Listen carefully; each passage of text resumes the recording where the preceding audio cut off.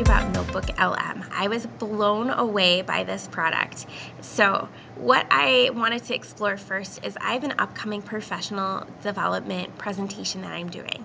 So, I uploaded that document here on the left hand side. Now, this is really, really neat, especially in a social studies or a STEM world where you are synthesizing multiple resources or doing research. You can upload sources here. Now, when you upload sources, you can use docs from your uh, Google Drive. You can also paste in links for websites or even YouTube videos. So, when it comes to synthesizing research, this tool has, I am so excited, it has so many different possibilities. Now, after I uploaded that resource, and again, I wanted to start with a single resource just to explore what this tool is capable of. It created this chat for me, which I it, it prompts me with questions, or I can add questions or add thoughts here. I can also add some sort of audio uh, as well. So I can talk into my in my tool, you know, talking about the resources or the research that I'm doing, or I can use the questions here. And this is really interesting because again, it keeps asking multiple questions. And, and so that's going to produce some very fast information using Google Gemini. Again, when using AI tools, you want to go back and reassess and make sure that you're critically thinking about the resources that it's gathering and the information that it is providing. But it's just really fascinating that how quickly that that happens and the types of information that I was gathering. And noticing these questions, this is this information is pulling straight from my presentation. So walk the plank on YouTube is a strategy that I use with my students on, on introductions. It's talking about the tools that I'm directly referencing here. So that's pretty amazing. Now, as I go over on the right hand side here, I've got a couple of different options. Now, I can create an FAQ from my resource.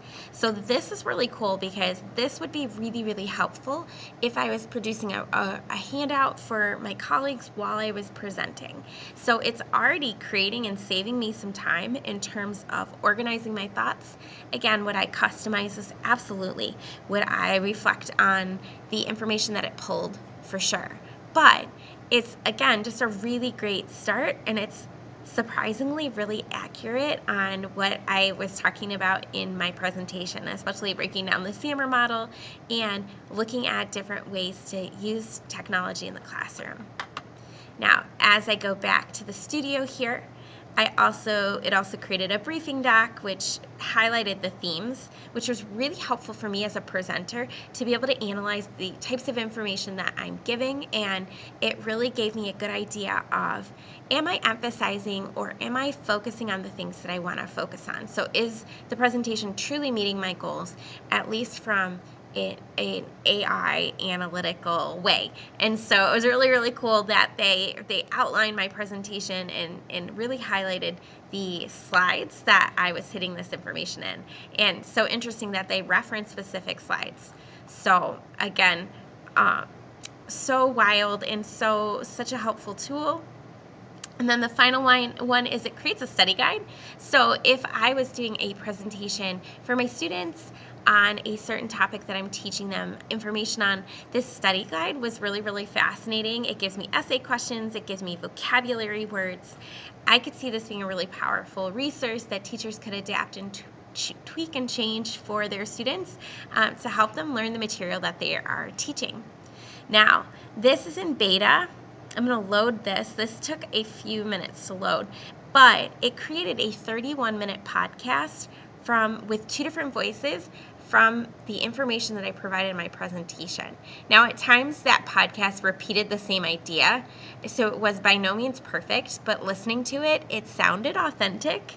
And so, for our auditory listeners, it was really, really a powerful way for me to take my source, chat about it, get information about it, develop some, some resources that I could use with students and then I could listen to all of that information being synthesized. So I am so excited for the possibilities for a Notebook LM. I think it's a really, really great way to, to synthesize research, resources to gather information, to provide summaries and scaffolded um, supports for our students. So here is that. All right, so we're diving into this presentation called Empower Students Everywhere. Tools for engagement in the college classroom. Let's take a listen. And with spring semester coming up, it seems like you're all set to like really focus on student engagement and collaboration. Yeah, definitely. And I think what's cool about this presentation is that it comes from like a unique perspective. You know, it was actually created by Josh Sukow, who is a college so, going on to that, and they actually introduced my husband and I collaborated on this um, slide deck. So, it is wild. You can give it a thumbs up or a thumbs down. In beta mode, I can also I can also use my own voice and I can talk to them. I can hit join and this took a while to do so it's it's definitely in beta and it's definitely not perfected but earlier I was able to ask it a question and they were able to respond to me and they said Steph thanks for tuning in and so it really felt authentic and so that's definitely something I would check out. You can download it and then you could share it on your LMS with your students if this was something you wanted them to listen to. So check it out and let me know how you are playing with this tool.